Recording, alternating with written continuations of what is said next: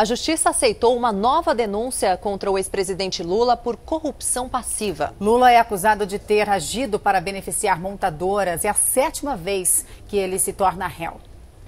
Segundo o Ministério Público Federal, Lula, quando ainda era presidente, e Gilberto Carvalho, então chefe de gabinete, que também virou réu na mesma ação, aceitaram a oferta de 6 milhões de reais para favorecer a montadora de veículos Mitsubishi e a revendedora Caoa, editando uma medida provisória para prorrogar incentivos fiscais que beneficiariam essas empresas. A lei previa incentivos até 2010, mas foi estendida por mais cinco anos. A denúncia contra Lula e Gilberto Carvalho é por corrupção passiva.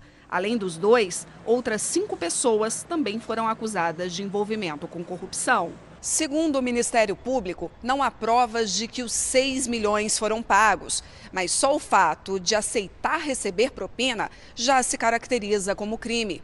O dinheiro seria usado para financiar as campanhas petistas. Os advogados dos réus têm 10 dias para apresentarem as defesas. O ex-presidente também é réu em outros cinco processos na Justiça: três na Operação Lava Jato, um nas Zelotes e outro na Operação Janus. E foi condenado a nove anos e meio de prisão no caso do triplex do Guarujá.